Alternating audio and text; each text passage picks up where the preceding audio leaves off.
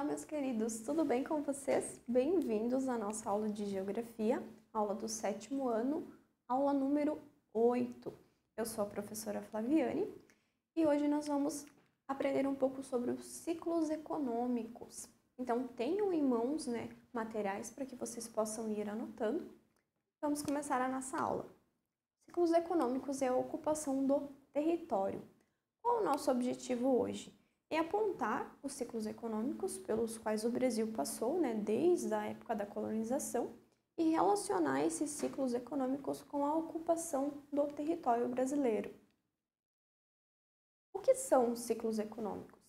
Eles dizem respeito às atividades econômicas do país em determinado intervalo de tempo. Desde a colonização pelos portugueses, as, né, as riquezas, as as nossas riquezas naturais elas foram exploradas, né? E as culturas agrícolas foram implementadas no país. Essas atividades foram responsáveis pela economia brasileira em determinado período e região. Ou seja, os ciclos econômicos são né, atividades né, em, de, em intervalos de tempo. Então, de tempo em tempo, o tipo de atividade econômica que era estava mais é, em voga, que era mais é, feita no país, ela foi se alterando. Por isso são ciclos, né? O ciclo econômico ele está relacionado a determinada atividade, mas só que ela não era exclusiva, uma vez que o Império Português tinha como objetivo principal a obtenção do lucro. Portanto, além desses ciclos, também foram exploradas outras atividades, tá? Dentre as quais, né, a título de conhecimento, a pecuária, o artesanato e a manufatura. Os ciclos eles, eles estiveram majoritariamente localizados nos estados mais litorâneos do país. Essa configuração está associada à não homogeneidade na povoação do território nacional. Então, como a gente já, é, já viu né, em aulas anteriores, como a gente já estudou em outros momentos, a colonização do país ela começou pelo litoral. Então, ciclos econômicos eles também acabaram se concentrando mais no litoral do país. Os principais ciclos econômicos do Brasil quais são?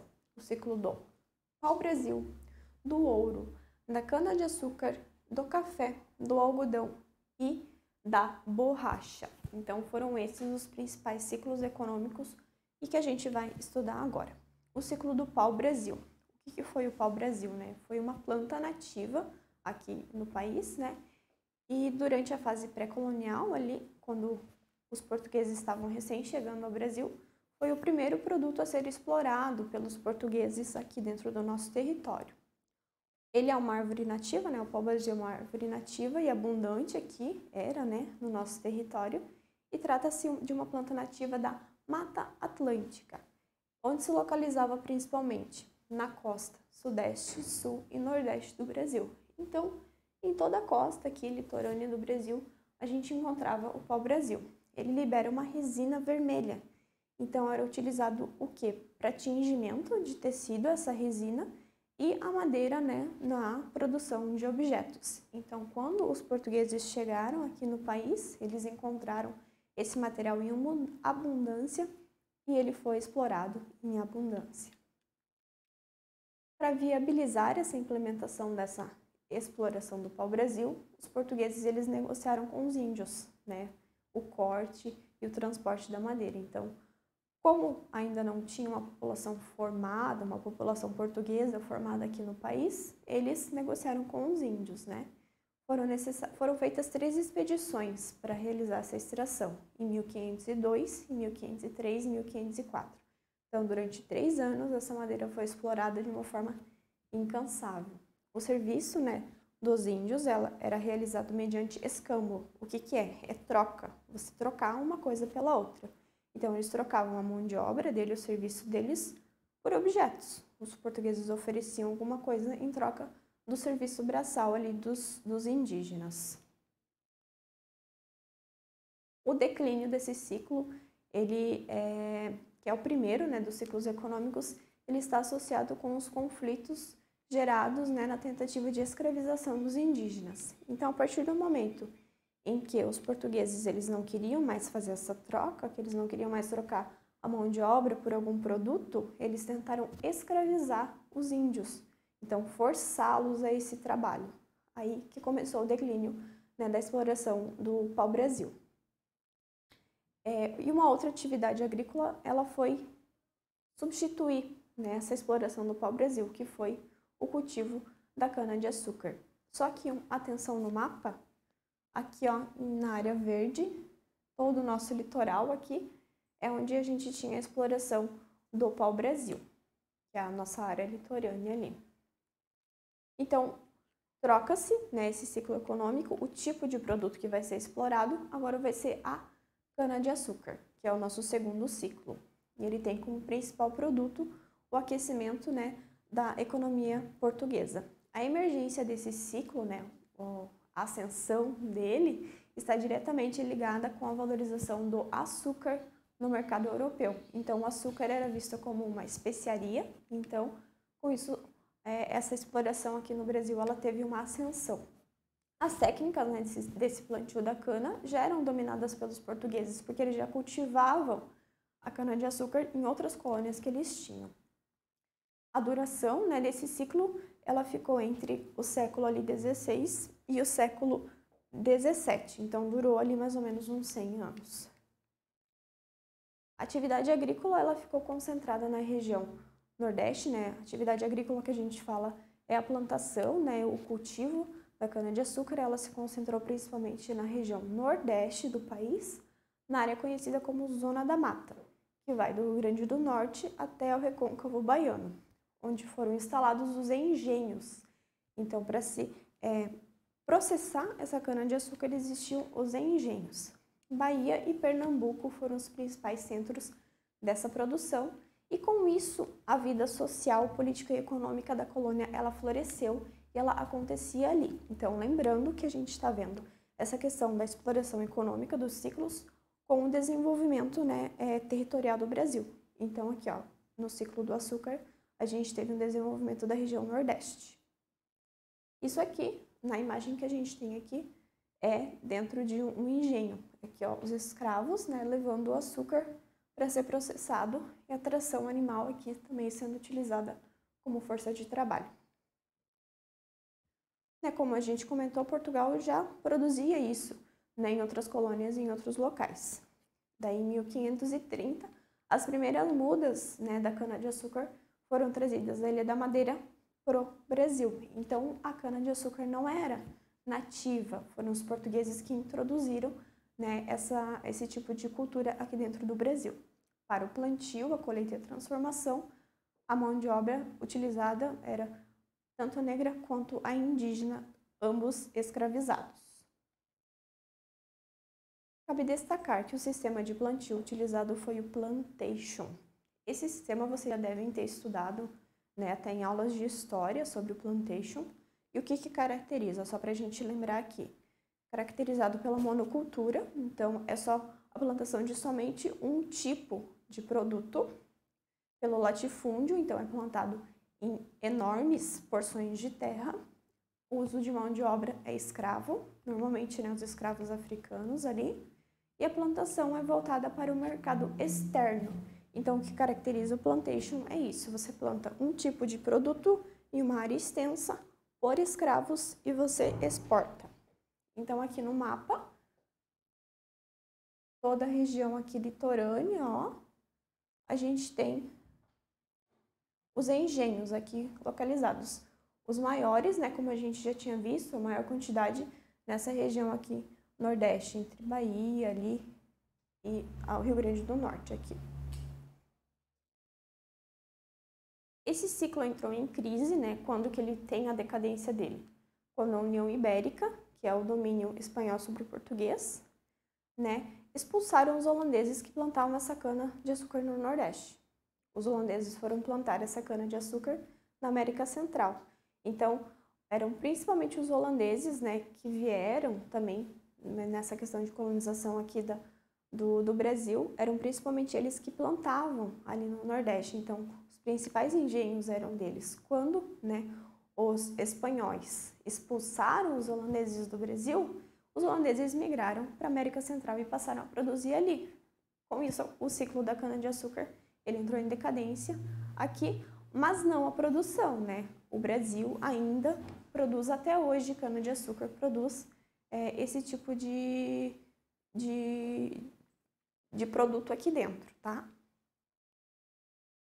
Aí, ó, o gado, né, lembra que a gente viu na imagem lá, era utilizado para mover os equipamentos, né, que moíam ali a cana-de-açúcar, ali dentro do, dos engenhos. Porém, como o ciclo canavieiro, também cana-de-açúcar e canavial são sinônimos, tá? Estava comprometido, os portugueses precisavam explorar a colônia, né, de alguma outra forma, eles optaram por marchar para o interior do país. Foi dessa forma, ó, mais uma vez, exploração econômica e desenvolvimento do território. Dessa forma, após ter chegado ao, rio São Francisco, fazendas de gado foram implantadas até Minas Gerais. Então, a partir do gado que era utilizado nos engenhos, essa produção pecuária ela foi se desenvolvendo. E o próximo ciclo, que se sobrepõe ali a cana-de-açúcar, agora vai ser o ciclo do ouro. Então, ele começa quando o ciclo de açúcar termina, tá? Ali no final do século é, 17. Agora as atenções elas se voltam para a região sudeste. Então nós descemos do nordeste, a gente vem para o sudeste. A exploração dos minérios de ouro acontece principalmente em Minas Gerais. Contudo, a gente ainda encontra algumas jazidas, que é os locais onde tem esse minério, em Goiás e Mato Grosso. Essa extração ela provocou mudanças na ocupação do território. Houve um grande fluxo de pessoas que vieram de Portugal e do litoral nordestino para as minas. Também aconteceu o aumento da escravização de indígenas e dos africanos. Então, o que, que acontece aqui, gente? As pessoas, elas ouvindo né, sobre essa descoberta de ouro, elas foram para lá querendo ouro, querendo ganhar dinheiro. Quem era dono das terras ali também aproveitava, né? Aproveitava não, utilizava a mão de obra indígena e africana para que eles trabalhassem escravizados ali nessas minas. Esse período, né, foi o auge econômico de Portugal, né, da metrópole que controlava aqui o Brasil. Porque a partir disso, né, a partir do ouro, que era um minério utilizado, né, o principal, a principal fonte de riqueza, ainda, é, ainda hoje o ouro é lastro econômico, né? É uma fonte de riqueza. O Portugal cobrava né, impostos sobre essas riquezas encontradas. Então, como consequência né, desses núcleos de povoamento, houve um aumento considerável da natalidade, que é o que? O nascimento, né? E as classes sociais ficaram mais divididas, dinamizando a economia da região central do nosso país. Também a economia se mostra mais dinâmica nesse período floresceram comércios, né? É, pequenas manufaturas, ali, indústrias. Então, com isso, outras é, atividades também foram se desenvolvendo. Ou seja, aqui, ó, Portugal ganhava dinheiro tanto explorando quanto cobrando impostos de quem explorava o ouro. Então, para você retirar esse ouro aqui do Brasil, você precisava pagar para Portugal. Para você explorar, você precisava pagar. Então, a partir desse momento ali, a metrópole, né, que era Portugal, que comandava aqui o Brasil, foi ganhando dinheiro. Foi quando houve o auge econômico de Portugal explorando aqui o Brasil. Esse período representou né, o maior controle de, de Portugal aqui em cima do Brasil. Então, aqui, ó, os principais mecanismos de controle. Como a gente comentou, ó, o quinto, que era Portugal cobrava 20% de toda a produção, a derrama, que era, também era outro imposto, a captação, outro imposto, então era imposto em cima de imposto. É um ponto importante para ser relatado é em Confidência Mineira, que foi o que, aconteceu, ó, revoltados com os altos impostos, né, como a gente viu, era um imposto sobre o outro que Portugal cobrava, né, os altos impostos, as altas taxas, o abuso de poder, as punições, né, executados pela coroa portuguesa, a população queria independência.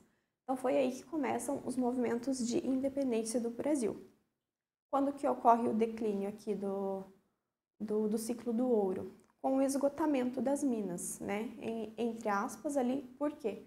Porque naquela época a gente não conhecia técnicas que hoje a gente tem, não tinha é, é, maquinário, né, que faz uma exploração um pouco mais profunda, uma exploração mais pesada. Então era braçal, eram os escravos ali, as pessoas querendo encontrar ouro quebrando ali a mina e, e cavando e encontrando. Então, o esgotamento ocorreu porque daí o que estava em superfície foi todo retirado. Aqui observando no mapa, o que a gente tem em amarelo são as minerações. São os locais aqui, ó. Aqui a gente vê ó, a questão, a região mais de Minas aqui, por isso que é Minas Gerais, tá? São as minas de ouro. E aqui mais para o centro do Brasil, ali também uma existiam alguns minérios ali também. Agora a gente muda, sai do ouro e entra o algodão. Com o esgotamento ali das minas, o algodão, ele foi chamado de ouro branco, ele é um dos produtos, né, um dos principais produtos que vão ser cultivados aqui no Brasil.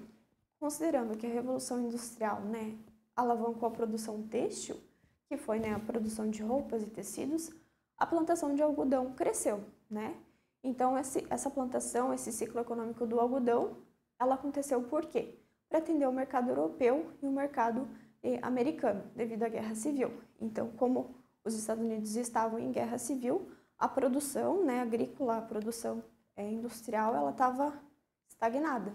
Então, para que pudesse atender tanto o mercado europeu quanto esse mercado eh, americano, o Brasil ele surge como um produtor de algodão, utilizando ainda a mão de obra escrava né, e, e cultivada nos latifúndios, também se utilizava ali daquela técnica do plantation, lembra? Então o algodão também era cultivado dessa mesma forma. Ele era destinado né, para o mercado externo e era utilizado também para a vestimenta dos escravos. As fibras de algodão eles eram, já eram utilizadas pelos índios na produção das redes. Então o algodão não era um cultivo é, desconhecido, né? Ele era bem conhecido, mas ele ficou ainda mais em voga aqui no Brasil. Ele, ele começou a ser é, usado, né? Ele passou a ser o, a principal atividade econômica devido a esses pontos que a gente comentou. Outro acontecimento né, desse período foi o renascimento agrícola. Né? Outros produtos foram sendo cultivados além do algodão. O tabaco, né, o açúcar, né, apesar de não, não ser mais como era, não ser mais um ciclo, ele ainda foi, continuou sendo cultivado e continua até hoje. O arroz, o cacau, o café, eles foram plantados no Brasil para suprir essa demanda. Então, junto com o algodão, esses outros cultivos também eles foram é, surgindo. Esse momento marca o início do processo de industrialização no Brasil, tá? Ele vai ser consolidado mais tarde com o nosso próximo ciclo, mas ele começou ali uma, uma incipiente, que é o que? Um início, começou nesse nesse período aqui. Com o advento do ciclo do café, o algodão deixou de ser o principal produto. Porém, né, hoje o Brasil é ainda um dos maiores produtores dessa cultura. Então, hoje ele não é o principal, né, é principal ponto da nossa economia, mas assim como a cana-de-açúcar, né, o algodão também continua a ser explorado, no, ser explorado não, ser cultivado aqui no Brasil. Em resumo, né, do cultivo do algodão era utilizado o trabalho escravo, ele era voltado para o mercado externo, cultivo nos latifúndios e era uma monocultura. Então, ou seja, ainda continuava sendo um sistema plantation. Aqui no mapa, a gente tem as, os principais é, cultivos. Aqui são as drogas do sertão, que eram é, medicamentos, assim, plantas medicinais, que elas eram cultivadas aqui na região da Amazônia, Daí o algodão é o que está em azul. Não sei se vocês vão conseguir acompanhar, mas acompanhem depois no, no slide de vocês. Lá em azul é o algodão. Agora, o nosso ciclo, que é o ciclo do café, nosso outro ciclo. Se o ciclo do algodão era o ouro branco, o do café vai ser o ouro negro. As principais mudas da planta chegaram no Brasil no final do século XVIII, né? Durante muito tempo, o produto foi plantado para consumo doméstico. Então, ou seja, o café também não é nativo aqui do Brasil, ele é lá da, da região mais arábica, por isso que hoje em dia a gente até ouve falar do café arábico, né? Ele era mais daquela região e ele foi trazido para o Brasil ali no final do século XVIII. É, só que durante muito tempo ele era cultivado apenas para consumo doméstico, então só ali as fazendas, alguns poucos locais cultivavam para uso próprio. Mas o ápice do quinto dos ciclos, que é o ciclo do café, ele se dá no século seguinte, que é no século XIX. Uma vez que a planta ela não era nativa do Brasil, como a gente comentou, foi preciso encontrar um solo em que ele fosse favorável para esse cultivo, a terra roxa. eu acho que talvez você já tenha ouvido falar da terra roxa, né, principalmente ali na região do Paraná, tem muita terra roxa, foi o que proporcionou esse plantio do café. Foi encontrada no oeste paulista, na cidade de Campinas e Ribeirão Preto e na região do Vale do Paraíba. Então, São Paulo tem uma área ali que tem muito dessa terra roxa, além de algumas regiões ali do Paraná, que são inclusive mais próximas a São Paulo. Esse período ele tem início com o declínio né, das, da, da exportação da cana-de-açúcar e ainda que o trabalho escravo ele tenha sido utilizado no começo né, desse cultivo do café, foi principalmente a vinda dos imigrantes que proporcionou a ascensão desse ciclo. O café é uma cultura de fácil cultivo, né? tem pouco desperdício, o transporte é mais barato e possui um alto valor no mercado europeu e dos Estados Unidos. Então, era muito fácil cultivar, era muito fácil transportar e ele tinha um alto valor no mercado externo. Com base nessas vantagens, né, os barões do café eles enriqueceram rapidamente investiram parte desse lucro na construção de ferrovias e energia elétrica. Então, o café proporcionou uma modernização do país, né, com a vinda de mais energia elétrica e o escoamento dele através de, de ferrovias e até rodovias. Dessa forma, várias cidades foram fundadas ao redor das estações. Então, mais uma vez, o ciclo econômico junto com a transformação do espaço, com o desenvolvimento. O ciclo do café né, contribuiu com o desenvolvimento econômico, principalmente do estado de São Paulo, e é, outros aspectos econômicos eles se desenvolveram. Né? A infraestrutura dos transportes, como a gente comentou, rodovias, ferrovias, os portos, né? cidades, né, foram é, fundadas ao entorno dos locais em que cultivavam café, no, a, em volta das ferrovias, a indústria, o comércio e os serviços. Então, tudo isso se desenvolveu a partir do dinheiro que o café trazia. Apesar né, desse ciclo ali, ele ficar entre o século é, final ali do século XIX, XVIII, ali início do século XX, ainda hoje o Brasil é o maior exportador e o segundo maior consumidor do café. Então a gente é o maior exportador, a gente produz muito ainda de café e é o segundo maior consumidor. O ciclo da borracha. Então agora saindo do café indo para a borracha.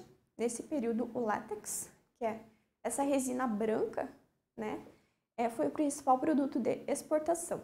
Ele era, era utilizado né, para produção da borracha. Ele foi dividido. Para que, que ele primeiro ele foi dividido em dois ciclos aqui no Brasil? De 1879 a 1912 foi o primeiro ciclo da borracha que a gente tem, foi um ciclo menor, e o segundo que foi o maior de 1942 a 1945, tá? Então, dentro do Brasil a gente teve dois ciclos, um menos expressivo e o outro mais expressivo que faz com que ele entre aqui como sendo um ciclo econômico, que é o ciclo da borracha. Ele foi desenvolvido na região norte do país, lá, principalmente na região do de Amazônias, Rondônia, Pará. Então, na região da floresta amazônica ali, o ciclo da borracha está ligado à ocupação né, do território do Acre pelo Brasil. Então, o Acre não pertencia ao Brasil, ele foi comprado. Então, isso também já proporcionou com que esse ciclo aumentasse. Por que, que aconteceu? Para que, que era utilizada a borracha? Ó, a partir da Revolução Industrial, né, fez com que a borracha fosse um produto valorizado, né, tornando a borracha um bem né, a ser comercializado. E ela, ela era utilizada no quê? Na fabricação dos pneus, né, de, do, de todos os, os veículos automotores ali, além das bicicletas, na fabricação de correias, mangueiras, solas dos sapatos. Então, borracha, com o advento da Revolução Industrial, com o maquinário que era capaz de processar essa borracha, ela se tornou um bem precioso.